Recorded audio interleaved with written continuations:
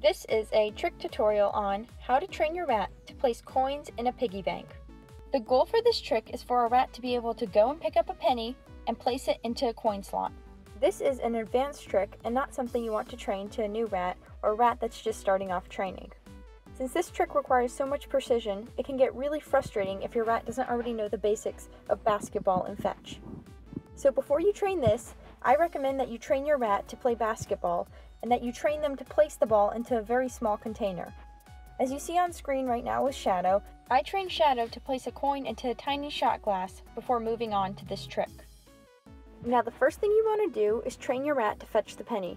Since fetch is a trick in its own right, I'm not going to describe the process of how you can train your rat to do this.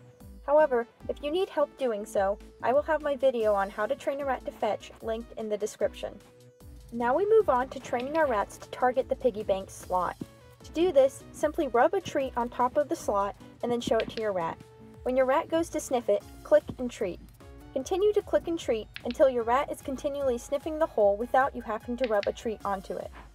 Now that our rat knows how to fetch the penny and target the slot, it's time to combine the steps.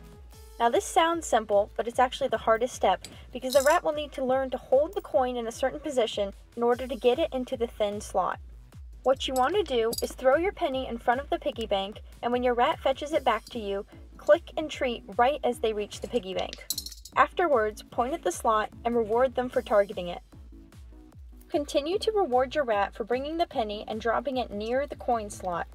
However, over time, slowly up your requirements, requiring your rat to try multiple times and only rewarding their closest tries.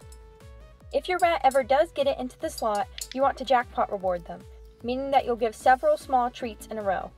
This simply lets your rat know that they have done a really good job and that they should try to repeat the behavior. Once your rat realizes that they need to put the penny into the slot, you're going to begin only rewarding them once they do so. Over time, you can increase the amount of pennies or other coins that they are putting into the coin slot before giving them a treat. And that's all there is to it. Once your rat knows how to put coins into the slot, they've mastered this trick. Congratulations! Thanks for watching, and I hope this was helpful.